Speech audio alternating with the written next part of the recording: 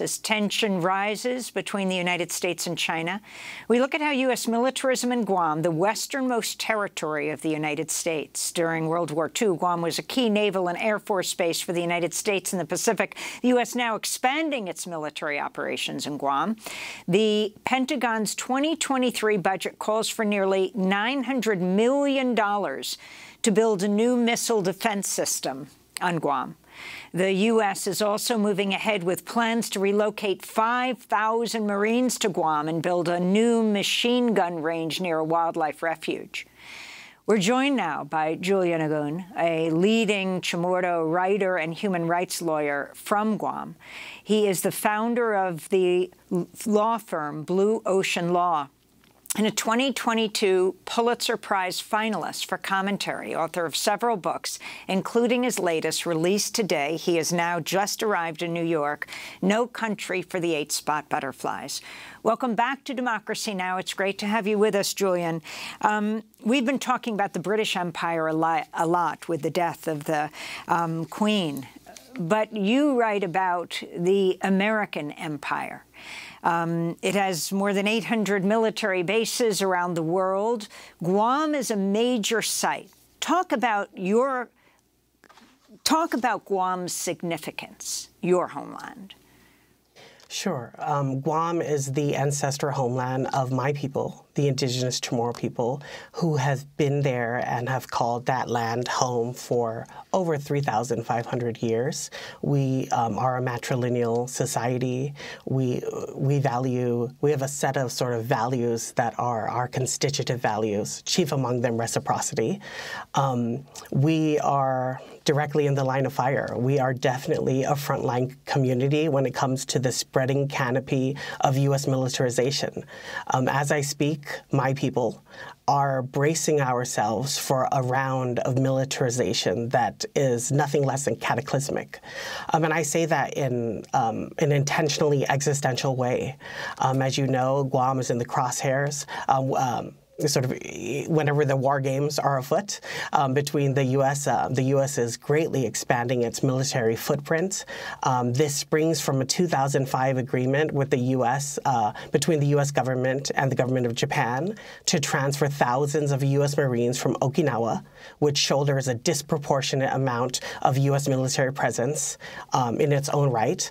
And those Marines are now um, coming to Guam. And as part of that Marine relocation, um, the U.S. military military is currently expanding its footprint in Guam. It is expanding its base. It has created a brand new Marine Corps base, and it is also constructing a live fire training range complex. And that complex consists of five different machine, uh, five different ranges, live fire training ranges. The largest and most important of which is a 59-acre multi-purpose machine gun range, and that is the range that I talk about in this book because it directly imperils a host of uh, uh, our other than human relatives, um, including our endemic eight-spot butterfly. And Julian, in terms of uh, this ex military expansion, clearly, obviously geared to the rising tensions between uh, China uh, uh and the United States, all of this is being done when it comes to Guam without any involvement of the of the people of Guam themselves. Uh, your country remains one of only 17 territories that are still considered colonies by the United Nations. Uh, and uh, even the level of self government, let's say, at some of the other former colonies of the U.S. or the colonies of the U.S., Puerto Rico, the Federation of, uh, of Micronesia have received, Guam still remains in a category by itself. I'm wondering if you could talk about how the people feel of what is going on, how the United States treats Guam. Thank you so much for that question, Juan. Um, I think that it's critical to sort of uh, face that question head on. Guam is a U.S. administered non-self-governing territory whose decolonization process has been thwarted by the U.S. government for 123 years and counting. Um, Guam um, has had a long history of fighting for the fundamental right of self-determination. Um, I myself was involved in a decades-long long battle um, throughout the federal court system to try to defend the right of the native inhabitants of Guam to express our um, desires with relation with regard to our future political status, our future political relationship with the U.S. government, which has uh, which has failed, and is it's sort of like um, right now what we see happening is the harms of 500 years of colonization sort of being exacerbated by a hyper aggressive unilateral sort of expansion of the U.S. military. So this is really um, Guam is really a Guam is where um, sort of like the legacy of colonial violence is now sort of being um, compounded upon by the sort of the harms of the U.S. government, and I mean that in, in every sense. Um, for example, in August 2017, North Korea was threatening Guam uh, with uh, with new, with weapons, uh, intercontinental ballistic weapons that would said to be reach Guam in 14 minutes. Um, in August 2020, um, China launched four missiles into the South China Sea, one of which, um, it's the DF-26, it nicknamed Guam Killer.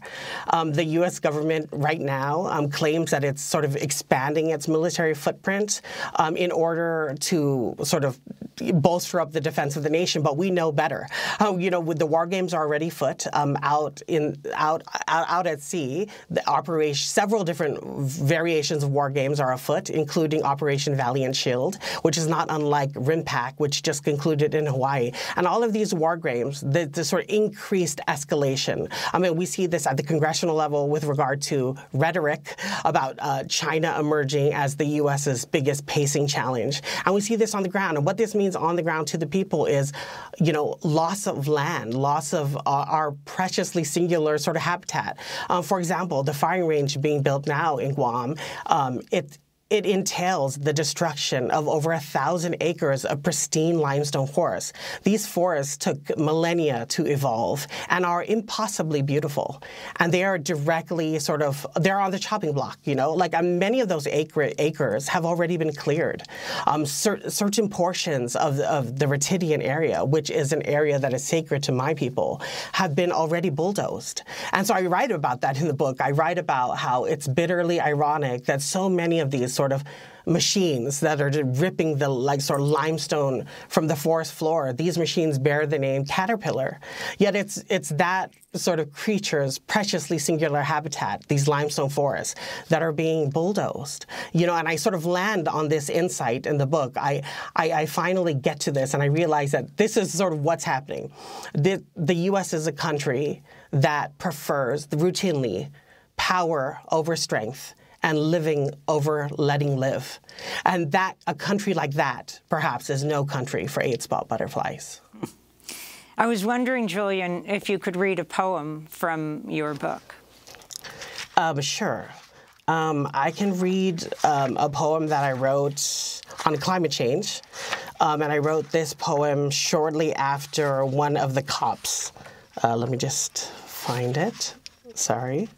And as you talk, I should say people should tune into our coverage of the UN COP, the UN mm. Climate uh, Summit that will be taking place in November in Sharm el-Sheikh in Egypt. Julian, go ahead. Thank you. We have no need for scientists to tell us things we already know, like the sea is rising and the water is getting warm. The inundated need no instruction in inundation.